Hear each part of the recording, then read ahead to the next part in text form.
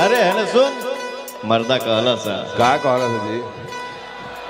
टिकुली तुम्हारा बहुत छोटा है। है है। अलगे से सटले बड़ी। ठीक है। सताइस को हम लोग पूना मिलेंगे। हाँ। वो जा और बड़हन टिकुली का के है संतोष मिल, संतोष मिलोगे ना सताइस को? वाह वाह अरे जुड़वा। ये टिकुली का साइज़ और बड़ा चाहिए मुझे।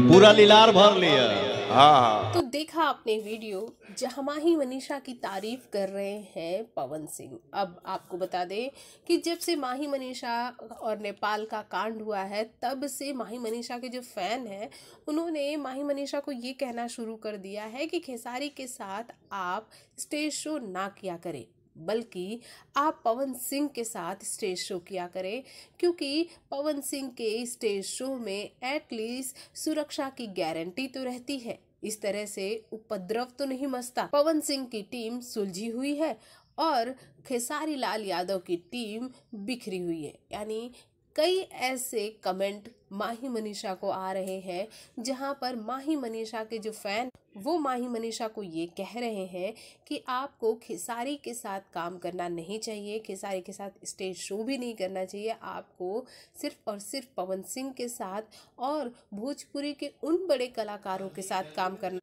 उन बड़े कलाकारों के साथ काम करना चाहिए, जिनके स्टेज शो में एटलीस्ट इस तरह की जो वाकई है वो ना हो। तो आप क्या कहना चाहेंगे हमारे इस रिपोर्ट के बारे में? कमेंट बॉक्स में कमेंट कीजिए, साथ ही चैनल को सब्सक्राइब करना बिल्कुल ना भूलिए।